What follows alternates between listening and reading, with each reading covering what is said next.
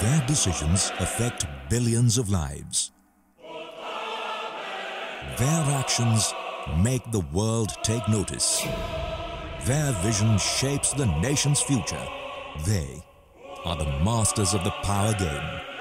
Get to know them in the India Today High and Mighty special issue, showcasing India's 50 most powerful people.